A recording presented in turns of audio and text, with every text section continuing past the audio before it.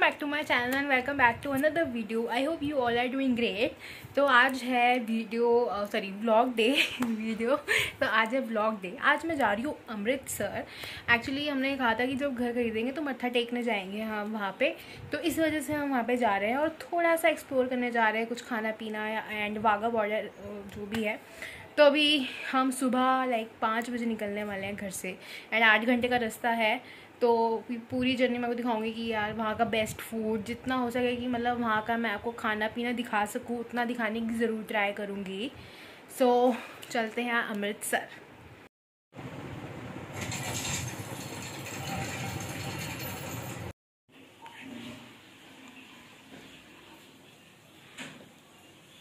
Oh, गो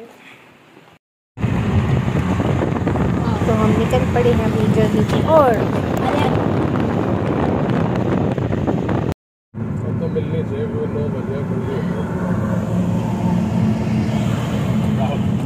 तो बहुत बढ़िया मौसम हो रहा है एकदम बढ़िया। तो अभी हम रुके हैं लंच के लिए अभी हम करेंगे लंच। ये लंच नहीं आई जैसे ब्रंच है। दिस इज़ अ ब्रंच मेरी मम्मा ने बोला कि ये ब्रंच है लंच नहीं है ना? मतलब है के बाद ये इस ढाबे नहीं जाना उस ढाबे नहीं जाना मम्मी पापा की खूब जड़प हुई। तब जाके हम एक ढाबे में रुके जो री जो जो रेनोवेशन में चल रहा है। पनीर डेढ़ रुबा टू फोर्टी खा लेते हैं पराठा पनीर सैलेड तो यहाँ हो गई है बहुत ही ज़्यादा तेज़ बारिश। अब थोड़ा डर लग रहा है कहीं वहाँ बारिश ना हो रही हो। भयंकर बारिश आ चुकी है। Please ignore my hairs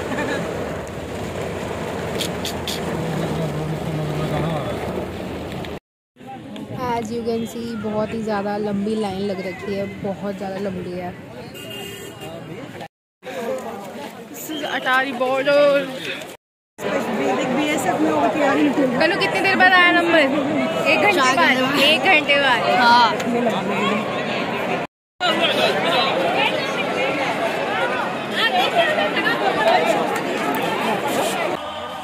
so so, ये दिखा रहे हैं अपनी women empowerment as you can see guys यहाँ पे बहुत सारी लेडीज़ हैं जो डांस कर रही हैं भारतीय सॉन्ग्स पे। बहुत ही सारी लेडीज़ गर्ल्स यहाँ पे मौजूद थी। 네.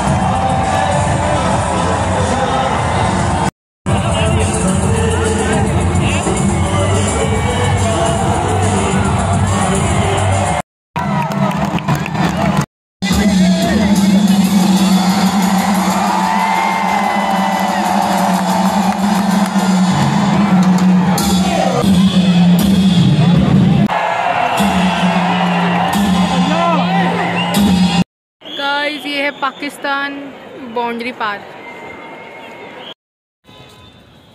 हमारी गाड़ी खो गई। गाड़ी खो गई हमारी। कहाँ है? अब हम जा रहे हैं गोल्डन टेंपल ये है मार्केट अमृतसर की।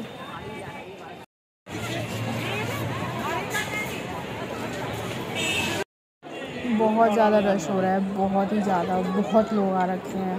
मुझे नहीं लगता हमारा नंबर आ पाएगा हम शायद अंदर नहीं जा पाएँगे।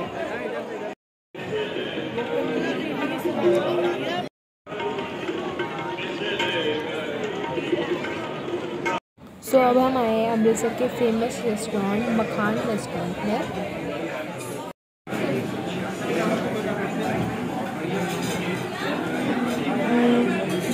यहाँ हमने ऑर्डर करा है इनका फ़ेमस तवा चिकन जो टेस्टी है काफ़ी।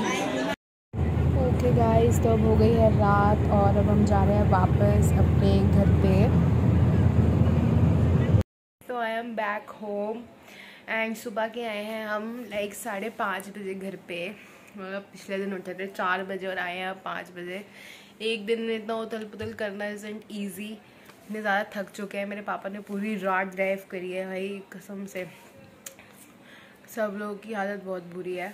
बहुत थक गए हैं। बॉर्डर में इतना ज़्यादा उथल पुथल हो रखा था। लाइन कोई फॉलो नहीं करता वहाँ पे, कसम से। और सबसे ज़्यादा मेरे को पता नाराज़गी किस चीज़ से हुई? ही मतलब वहाँ पे ना लेडीज़ का ना बैग्स अलाउड नहीं था। तो इन लोगों ने पहले इंस्ट्रक्शंस नहीं दे रखी हैं। बहुत बहुत पीछे से लाइन लगने लग जाती है। इन लोग तो आपको पता ही होगा ये बात। तो वहाँ पे पीछे इन लोगों ने इंस्ट्रक्शंस नहीं दे रखे कि बैग्स अलाउड नहीं है। बैग्स मतलब नॉर्मल लेडीज़ बैग्स या फिर कुछ भी छोटा मोटा सामान लाइक चार्जिंग केबल लोग ले जाते हैं अपनी और काफ़ी चीज़ें ले जाते हैं इलेक्ट्रॉनिक्स में। वो कुछ भी अलाउड नहीं है। फ़ोन्स अलाउड है। ये चीज़ पहले इन्होंने नहीं बता रखी। फिर बाद में जैसे ही हम एंटर होने को हो जाते हैं, पूरे आधे घंटे बाद लोगों का फोर्टी फाइव मिनट्स तक लोगों का नंबर आता है। कुछ लोग तो लाइन से ऐसे उथल के सीधा आगे चले जाते हैं, उनको कोई फ़र्क नहीं पड़ता। बट जो लोग लाइन में लगे हुए हैं तो उन जैसे ही वो आगे पहुँचते हैं, वहाँ पे लेडी ऑफिसर या फिर जो भी लड़का ऑफिसर होता है, वहाँ पे बोल देता है, भाई बैग्स अलाउड नहीं है चार्जर्स अलाउड नहीं है। तो ये चीज़ गलत है। ये चीज़ एक तरह से ये कि बहुत सारी लेडीज़ को मैंने देखा है अंदर पर्स में तो मेरी मम्मी ने मुझे बताया कि उन्होंने पैसे दिए तो बताओ, एक लेडी ऑफिसर तक भी पैसे लेने लग गई हैं। सौ रुपये दो तो फिर मैं आपको लेके जाने दूँगी। ये क्या बात होती है? कितनी गलत बात है। तो मेरी मम्मी ने उनको पैसे नहीं दिए, मना कर दिया मम्मी ने। मम्मी खुद मेरी लाइन छोड़ के वापस जहाँ पर बैग्स रखवाते हैं ऑफिशियली जहाँ पे एक मतलब लीगल डिपार्टमेंट है जो वहीं पे आसपास, वहाँ पे मम्मी ने रखवाया वो लोग तो फ्री में ही रख रहे थे, ऐसा कुछ नहीं था। पता नहीं फ्री में था, पैसे तो पता नहीं लिए नहीं लिए। बट कितनी गलत बात है मतलब हद हो गई। तो कोई छोटी सी ब्लॉग अच्छी लगी होगी। अब हम मिलेंगे नेक्स्ट वीडियो में, जो बहुत जल्दी आएगी, तब तक के लिए बाय